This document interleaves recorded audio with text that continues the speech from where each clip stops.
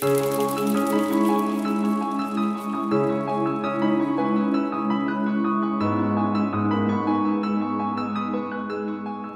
như nghiên cứu, 4 năm là khoảng thời gian tối đa mà một mẫu chuột thành công cho ra mắt một phiên bản mới hoàn thiện hơn để kế thừa. Các hãng sẽ nâng cấp dòng cũ thành hẳn một phiên bản mới với tên gọi mới cùng sự cải thiện phần cứng như mắt đọc, switch, công nghệ kết nối không dây. Tuy nhiên, G102 của Logitech là một trường hợp đặc biệt.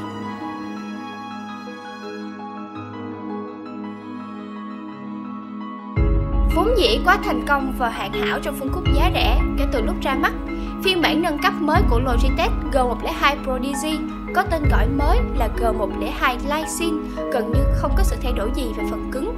Điều duy nhất tạo nên sự khác biệt là công nghệ LED RGB mà Logitech gọi là công nghệ Lysin.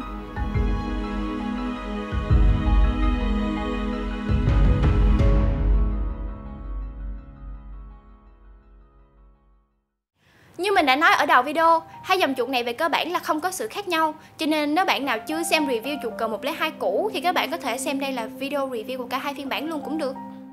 Logitech 102 Lysin có hai màu bao gồm trắng và đen. Phiên bản đen hướng đến sự đơn giản, ngược lại phiên bản trắng hướng đến sự năng động. Nhưng khác với ngôn ngữ thiết kế chung của các hãng sản xuất khác, thường các dòng chuột trắng sẽ phủ bóng, nhưng mà Logitech 102 Glycine mình đang cầm trên tay đây vẫn được phủ nhám như là phiên bản màu đen. Về điểm khác nhau duy nhất của phiên bản nâng cấp này thì Lexin là tên gọi của hệ sinh thái LED RGB đến từ nhà Logitech. Như cái cách mà Razer gọi hệ sinh thái RGB của mình là Chroma và Corsair thì gọi là IQ. Quay trở lại với thiết kế chuột G102 Glycine thì đây là mẫu chuột có thiết kế hình quả trứng. Nói theo cách khác thì đây là chuột có thiết kế đối xứng với kích thước nhỏ và gọn như quả trứng vậy. Với trọng lượng là 85 gram, tương tự với phiên bản G102 cũ. Phần dây của cả hai phiên bản cũng có độ dài như nhau là 2,1 m. Đây cũng chính là điểm duy nhất mà mình cảm thấy không hài lòng cho lắm. Phần dây khá mỏng cũng như không được bọc dù làm cho độ bền bị ảnh hưởng ít nhiều. Nhưng độ bền dây ngầm không ảnh hưởng quá nhiều bằng việc kích cỡ dây quá nhỏ khiến cho chúng ta khó khăn trong việc sử dụng bung ghi. Theo như mà mình tìm hiểu, chỉ có duy nhất một mẫu bung ghi có thể vừa với độ dày dây của chuột cờ 102, chính là bung ghi của Razer.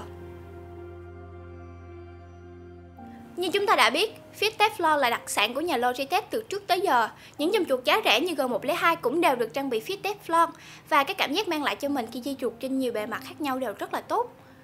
Điểm tiếp theo cũng khá là quan trọng chính là mắt đọc của G102. Cả hai phiên bản đều sử dụng mắt đọc Mercury với mức DPI cao nhất là 8000 và mình nghĩ đây cũng chính là một trong những mắt đọc tốt nhất trong các dòng chuột phân khúc giá rẻ với dài tốc tối đa lên tới 25G cùng với tốc độ tối đa là 200 IPS Thực tế, trong những bài test nặng đô của mình, khi mà mình kéo chuột với tốc độ nhanh nhất có thể thì mắt đọc có tình trạng tracking lỗi. Trong những tựa game FPS sẽ thường bị tình trạng tâm chuột chạy xuống dưới. Nhưng thực tế, để chơi game phổ thông không ai di chuột một cách mạnh bạo như thế. Cho nên độ tin cậy của mắt đọc Mercury với hầu hết nhu cầu chơi game vẫn được đảm bảo.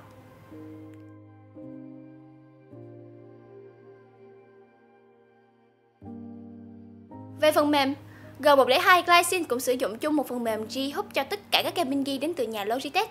Chúng ta có thể thay đổi được chức năng của 6 nút bên trên chuột cũng như thay đổi hiệu ứng LED RGB. Phiên bản cũ của G102 Pro DZ chỉ có một vùng LED duy nhất để tùy chỉnh, trong khi phiên bản mới là bản Glycine có tới 3 vùng LED độc lập, giúp chúng ta có nhiều lựa chọn hiệu ứng RGB hơn. Mọi thiết lập trên đều lưu được trên bộ nhớ onboard của G102 Glycine, từ DPI, LED RGB cho tới chức năng của các nút nhấn. Về trải nghiệm, thật sự không quá khó để chúng ta làm quen với chiếc chuột này. Cảm giác cầm rất là gọn và đặc biệt phù hợp với những người có kiểu cầm paw grip nè, fingertip cho tới claw grip. Và cảm giác cầm gọn nhẹ như vậy khiến mọi thao tác trong game của mình linh hoạt hơn rất nhiều. Riêng với người dùng có thói quen nhấc chuột nghiêng sẽ có cảm giác không thoải mái vì phần thân chuột cà và bề mặt bát tạo ra tiếng ma sát khó chịu, cũng như cảm giác di chuột sẽ bị ảnh hưởng rất là nhiều.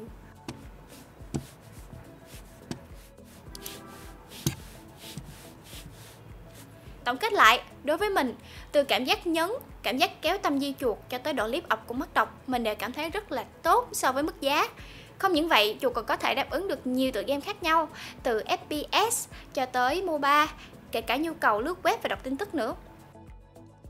Còn về vấn đề muôn thuở, người dùng bị double click khi sử dụng chuột G102 thì sao?